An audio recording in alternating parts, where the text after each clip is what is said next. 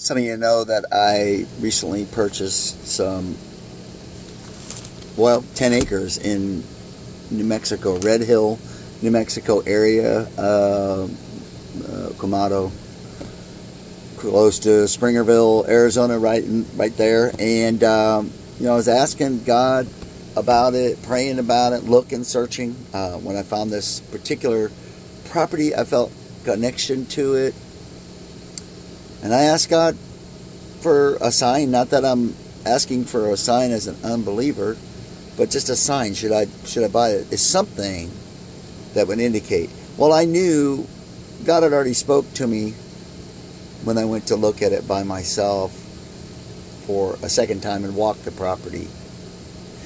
And uh, he had already spoke to me about it. And um, I was shown the property uh, by the neighbor. But in that midst of walking it, that property for a second time, I found something um, that I don't, I didn't really. I just I thought it was interesting. This rock here, as you can see, which I believe to be a jasper stone now, as I'm looking on the internet. Oops, as you can see here, beautiful red rock. I thought it might be a piece of pottery or I don't know. But looking online, uh, it appears to be a jasper stone. Okay. Um, I put it in my pocket, put it in my backpack, took it home, and today, looking at this, this jasper stone, excuse me, jasper is listed in the book of Revelation, and it is included in the relationship to God's appearance on his throne.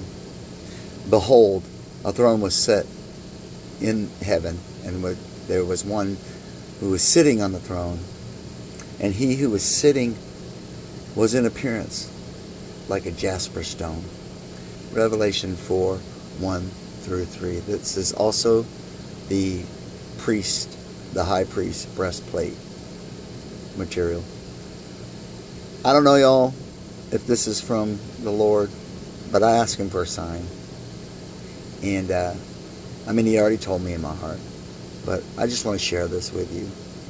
Um, God is amazing, and He's awesome, and I love Him, and praise the Lord for this little stone. Thanks for watching.